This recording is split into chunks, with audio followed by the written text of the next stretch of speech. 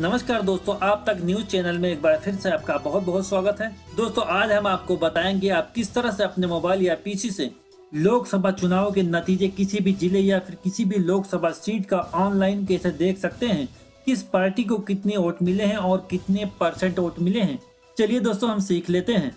दोस्तों, हम सबसे पहले आ जाते हैं इस वेबसाइट पे। इस वेबसाइट का नाम है result dot E C I dot government dot in दोस्तों, इसका लिंक मैं आपको डिस्क्रिप्शन में दे दूँगा। आप वहाँ से जाके ऑनलाइन देख सकते हैं।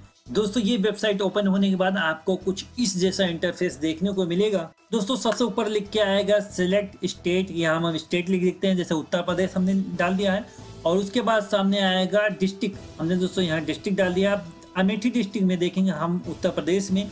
अमेठी डिस्ट्रिक्ट का नतीजे देख रहे हैं, उसका रिज़ल्ट अभी देख रहे हैं। आप देखेंगे यहाँ राहुल गांधी। सबसे ऊपर आप देखेंगे राहुल गांधी जो इंडियन नेशनल कांग्रेस पार्टी की तरफ़ से हैं, इनको तेईस लाख सात हज़ार सात सौ उनचास वोट मिले हैं। साथ में आप देखेंगे दाहिने तरफ़ चौवालीस दशमलव सोलह परसेंट इनको वोट मिले हैं।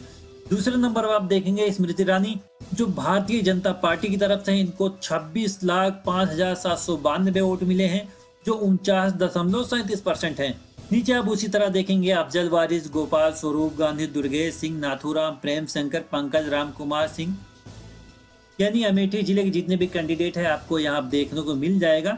इसके अलावा, अगर आप उत्तर प्रदेश में किसी और डिस्ट्रिक्ट का देखना चाहते हैं, जैसे आजमगढ़, चलिए दोस्तों, हमने यहाँ से आजमगढ़ सिलेक्ट कर दिया। हम देखते हैं यहाँ अखिलेश यादव। अखिलेश यादव समाजवादी पार्टी की तरफ़ से हैं, जो चौवालीस लाख नौ हज़ार दो सौ बयासी वोट मिले हैं, जो कि साठ दशमलव तेईस परसेंट वोट मिले हैं। उसके बाद दूसरे नंबर पे हैं दिनेश लाल यादव निरहुआ इनको 26 लाख चार हज़ार छह सौ अट्ठासी वोट मिले हैं, जो पैंतीस दशमलव अड़तालीस परसेंट है। उसी तरह जैसे आप किसी और डिस्ट्रिक्ट का देखना चाहें, जैसे अलीगढ़, हमने अलीगढ़ सिलेक्ट किया। अलीगढ़ में आप देखेंगे डॉक्टर अनीत बलियान। इनको उनतालीस लाख पाँच हज़ार तीन सौ तेरह वोट मिले हैं, जो छत्तीस दशमलव अठारह परसेंट है। दूसरे नंबर पे हैं विजेंद्र सिंह चौधरी, जो इंडियन नेशनल कांग्रेस पार्टी की तरफ़ से हैं। जो चार लाख सात हज़ार चार सौ छियासी वोट मिले हैं, जो कि चार दशमलव पैंतीस परसेंट है। तो दोस्तों, आप भी इस तरह, इस वेबसाइट की मदद से आप देख सकते हैं किस पार्टी को कितनी वोट मिली है, कितने परसेंट वोट मिले हैं और किस पार्टी वहाँ पर जीती है। दोस्तों, इस वेबसाइट का लिंक मैं आपको डिस्क्रिप्शन में दे दूँगा। आप वहाँ से जाके ऑनलाइन मोबाइल या पीसी की मदद से आप देख सकते हैं।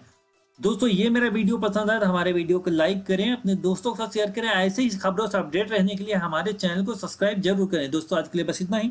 हम मिलते हैं अगले वीडियो में नए अपडेट के साथ। जब तक के लिए आपका बहुत बहुत शुक्रिया। जय हिंद।